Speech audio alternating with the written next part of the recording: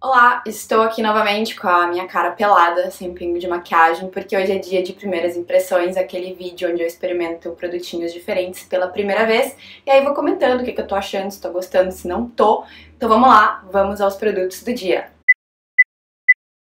O primeiro deles é da Smashbox, esse aqui é o Primer Photo Finish Radiance. É um primer de fórmula hidratante e HD. E a promessa é reduzir a aparência de poros, linhas finas, imperfeições. E ele também iguala o tom da pele e deixa o rosto com aquele brilho sutil, natural e radiante. A fórmula dele tem ácido hialurônico, que já me interessa, já vejo vantagem, porque afinal de contas passei dos 30. E quanto é que custa essa lindeza toda? Esta lindeza no Brasil, o tamanho grande, porque esse aqui não é o grande, o que eu tenho é o pequenininho, o tamanho grande custa, se não me engano, 199 reais.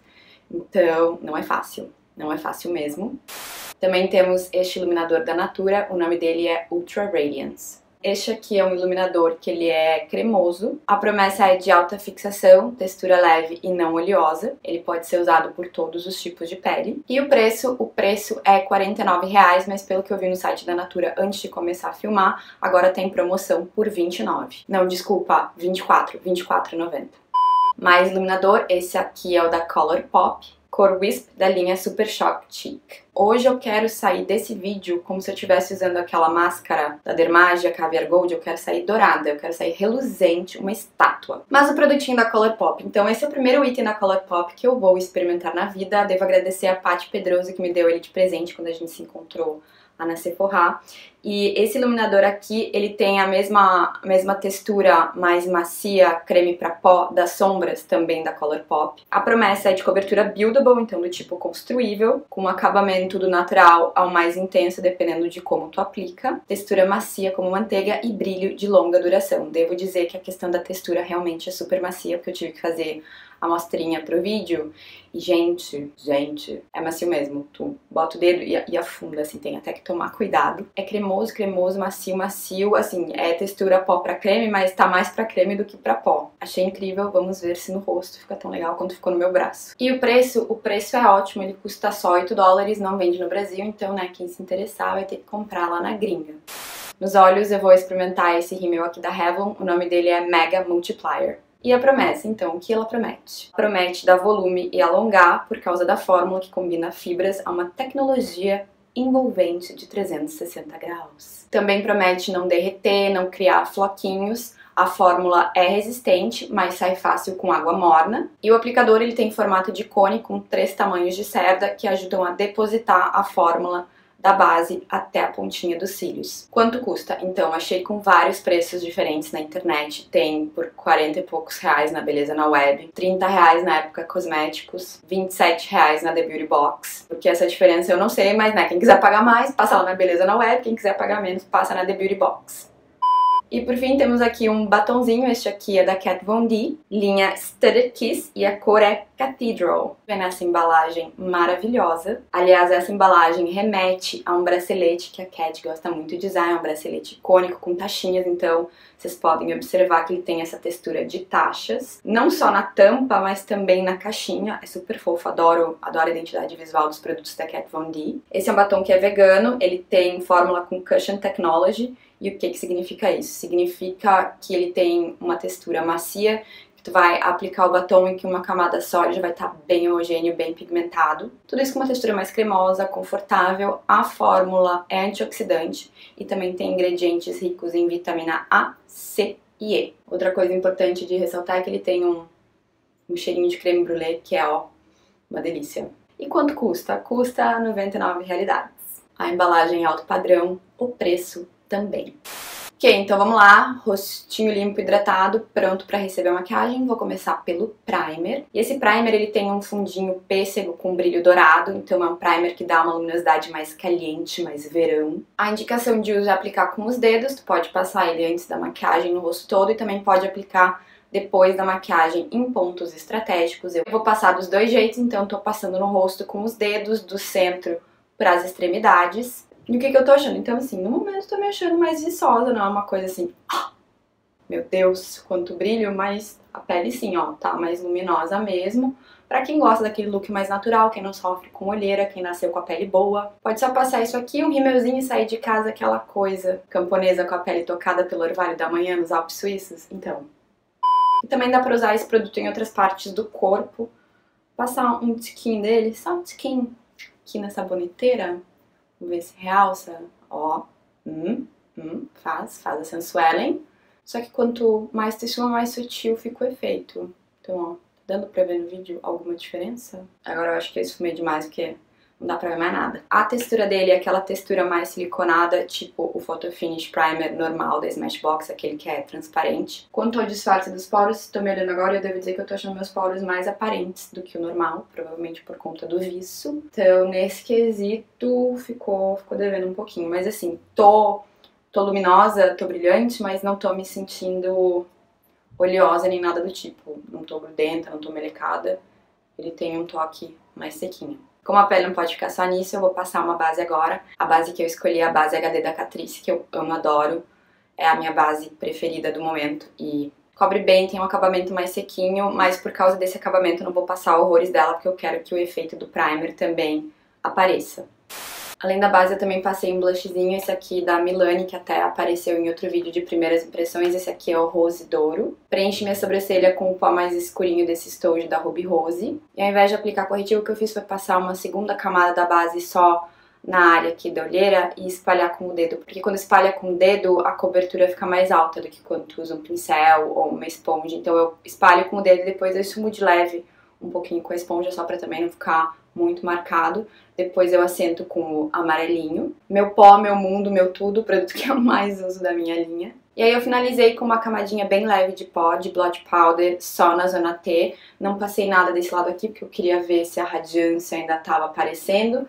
E pelo que estou notando aqui, assim, bem de leve. Bem de leve mesmo, mas o efeito geral, mais luminoso, de viço, se foi que já era mais ou menos esperado, então eu vou passar um pouquinho, um bocadinho só em algumas áreas, não vou passar nas têmporas porque eu vou reservar as têmporas para os outros produtos, mas eu vou passar um pouquinho aqui na ponte do nariz e vamos ver. Hum? Preciso do espelho, porque só me olhar ali no, na telinha da câmera não vai dar. Opa, tá demais isso aí. Vou passar um pouquinho, ainda tem um restinho aqui, aqui.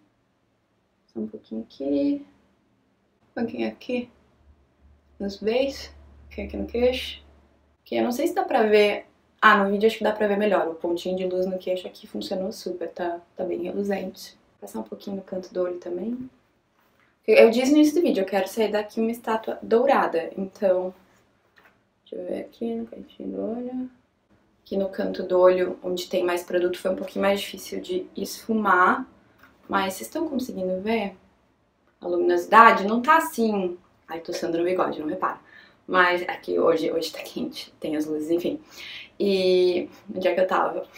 Então, ao vivo dá pra ver a luminosidade, dá pra ver a luminosidade sim, acho que no vídeo que tá mais aparente no momento é, é o meu queixo. É um produto que realmente é multiuso, dá pra usar por baixo da maquiagem com primer pra preparar e também dá pra usar por cima, só que quanto mais tu esfumar, mais delicado fica, então tem que passar bastante dele ou, ou esfumar muito pouco, que no caso fica esquisito. Então assim, primer, primer radiante e também iluminador, mas iluminador mais levinho. A cor dele eu acho bonita, eu gosto do fundo mais pêssego, na minha pele esse fundo não aparece, talvez em pessoas mais claras possa aparecer, e o meu bigode continua suando de uma maneira absurda. Agora, se segura a maquiagem, não segura, veremos. Vou me manter maquiada o resto do dia, aí vou almoçar, vou editar o vídeo e quando eu estiver terminando de editar o vídeo, eu volto aqui pra filmar e mostrar pra vocês como é que é o depois. Mas vamos seguir. Então, seguindo, eu vou usar agora esse iluminador aqui da Colourpop. A cor que eu ganhei é a Wisp. Wisp. A marca descreve ele como um champanhe dourado com perolado ouro. E lá no site também diz que se tu quer uma cobertura mais alta, que se tu quer mais brilho, tu tem que aplicar com o dedo. Então é isso que farei neste lado aqui do meu rosto. Muito macio, sério, parece que eu tô passando o dedo num creme. Absurdo. Sabe o iluminador da Becca? É tipo o iluminador da Becca, mas é mais cremoso ainda. Se possível, incrível. Vamos ver se fica tão bom assim na cutis. Então, passei aqui no meu dedinho e vou fazer um C aqui. Cobertura realmente é boa, o brilho é lindo, essa cor fechou super com o meu tipo de pele. Muito obrigada, Paty. Muito obrigada por esse presentão e tu tinha razão. É, a cor é muito bonita para quem é mais morena. Tá bem tá bem brilhante, mas não tá aquela coisa que tá contrastando muito com o fundo da minha pele. E agora eu não sei se eu passo mais. Vou passar mais, vou passar mais. Assim, esse nível de brilho, pelo que eu tô vendo ao vivo, é mais até do que eu tô acostumada a usar no meu dia a dia, muito mais. Vamos passar mais um pouquinho, só pra efeito de, de comparação. Então, uma segunda camada, vamos lá, segunda camadinha. E só pra constar, é, é bem, bem fácil de, de esfumar. Tá esfumando joia com o dedo. E ele fica um pouquinho mais seco, assim, enquanto tu tá esfumando. Ele, ele perde um pouco da cremosidade. Ó, segunda camada. Estou brilhando muito, muito, muito mesmo. Muito bonito. E vamos fazer um pontinho de luz. Vou passar por cima do, do Smashbox nesse olho aqui, então. Só um bocadinho de nada. Pega aqui. Bem pouquinho mesmo.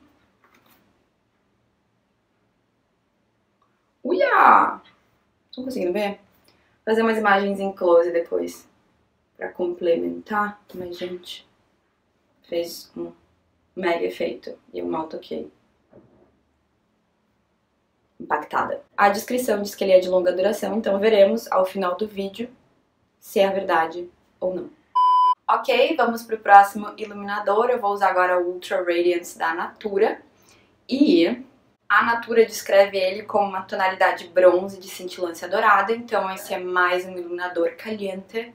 E ele tem uma textura cremosa, mas não é uma textura cremosa assim densa. Então, fazer uns pontinhos aqui no meu rosto. Olha, bem dourado, vamos esfumar, porque né, é sempre super bonito quando a gente aplica. Aplicou, meu Deus, aí vai esfumar, some. Vamos ver então se ele esfuma bem, se ele mantém este brilho incrível.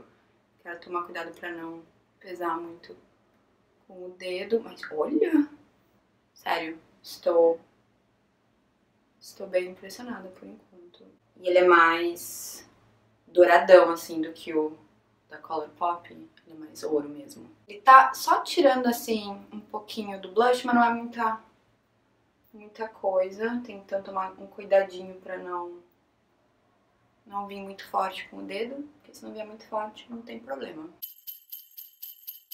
Vai ter no cantinho do olho? Vai ter no cantinho do olho também. Passar um pouquinho, cadê meu espelho? A aplicação não tá jóia, ok, gente? Mas é só pra vocês verem mesmo como... Vai ser demais, agora eu tô com a minha olheira cintilante, pera. Agora o que sobrou aqui na mão já deu um tempinho, ó, viu como ele seca? Ele não tá mais, mais úmido, então ele é um iluminador cremoso que depois vai secando na pele. Então tenho boas expectativas quanto à fixação por causa disso, ó, aqui a cor na minha mão. Ele é bem dourado, bem dourado. Ele é um dourado mais amarelo, mais ouro do que esse aqui. Esse aqui é um dourado mais champanhe mesmo. Vou limpar um pouquinho minha mão e eu acho que agora a gente pode ir pro batom e depois, por último, a gente deixa o rímel. Ok? Ok. Então vamos lá, esse aqui é o batom da Kat Von D, cor Cathedral. E a cor dele é um ameixa meio desmaiado, um malva meio amarronzado. Cadê meu espelho? É um espelho rosa gigante. Ah! Vamos ao que interessa, que é passar o batom. Então vamos ver se a, a cobertura realmente é super boa com uma camadinha só. Começar por cima, por baixo. Vamos por baixo. Ele tem, ele tem um acabamento mais sequinho, mas não é mate mate. A textura por enquanto estou achando ok. Assim, cremosa, mas não é aquela cremosa molhada muito macia. É macio, mas não é. Sabe o que eu quero dizer? Sabe quando é batom bem cremoso, lustrosão? Não é isso, é um cremoso mais sequinho. Pigmentação realmente muito boa. Amei a cor, amei assim. Real, oficial. Que cor bonita. Acho que combina agora com o outono, apesar de estar fazendo um calor do cão na rua. O acabamento é ótimo porque ele não chega a ser aquele fosco total, mas é mais sequinho sem deixar a boca desconfortável, espalha bem, olha, joia. Então por enquanto tá tudo lindo, vamos só ver como é que é a fixação, vamos ver se transfere, transfere um pouco, como vocês podem ver aqui na parte de trás da minha mão. Depois do almoço volto com novidades, ver como é que ele tá se comportando. Último produto do dia, a máscara de cílios da Revlon, a Mega Multiplier, com seu aplicador em cone com três tamanhos diferentes de cerdas. Então, vamos ver qual é. Primeiro vou dar um zoom aqui, dar um close, fazer aquela comparaçãozinha de tamanho do aplicador para o tamanho do olho. Então, é um tamanho normalzinho, aplicador tipo pinheirinho, ponta mais fina, base mais larguinha. Primeira camada, vamos lá então. Antes, este é o meu olho, estes são meus cílios, prazer, pestanas. Estão assim, vamos para a primeira camadinha. E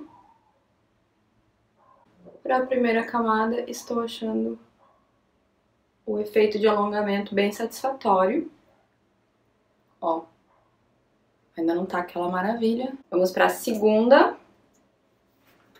E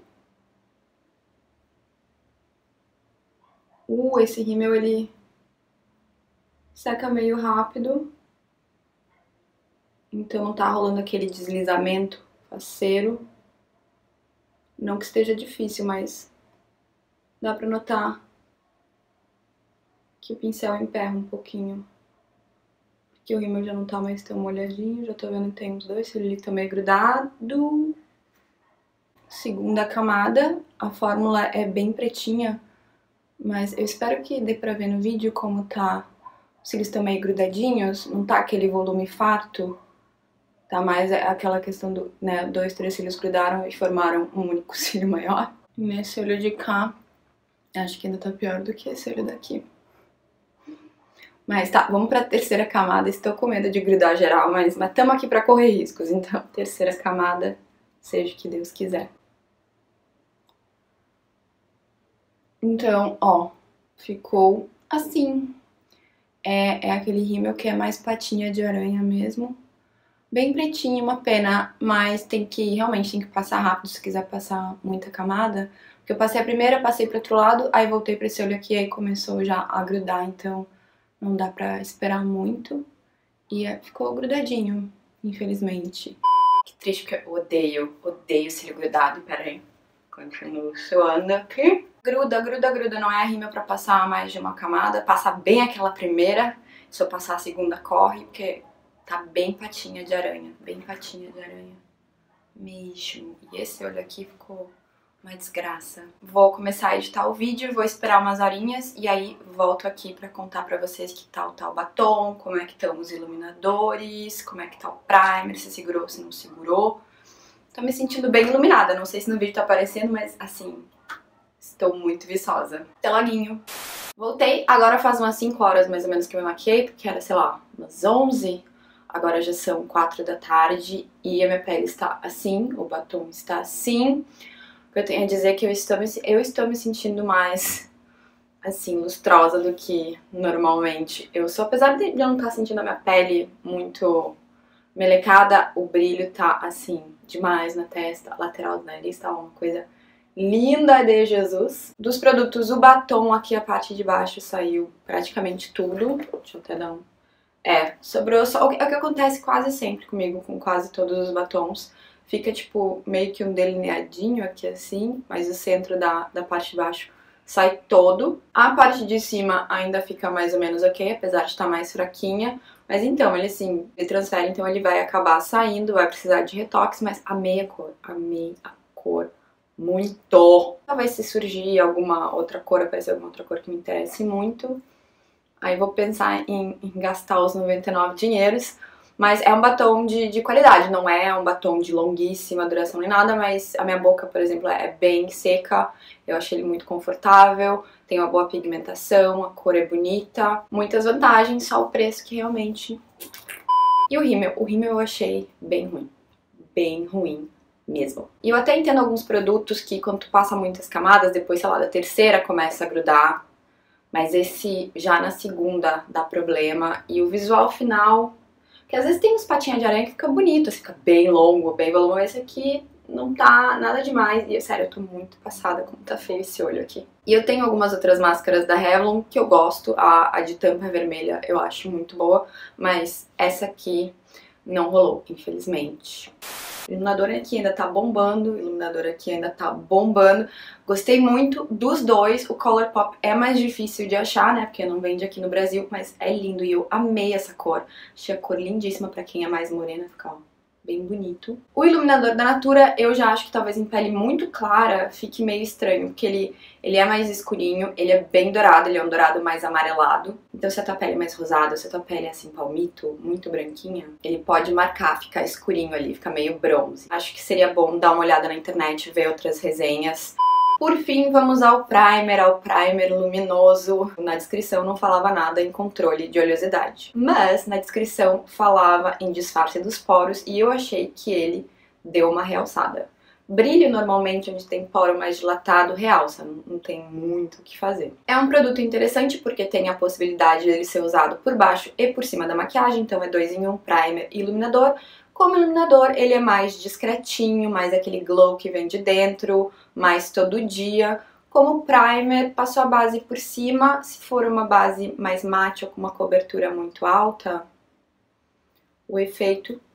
Como ele é mais carinho, custa 199 reais, eu acho que o custo-benefício não é dos mais interessantes, infelizmente. E é isso, agora eu vou demaquilar, tomar um banho, acho que vou passar uma máscara ou duas na minha pele enquanto eu assisto Netflix. Eu espero que vocês tenham gostado do vídeo. Qualquer dúvida, deixa um comentário aqui embaixo. Um beijão, gente. Até a próxima. Tchau, tchau.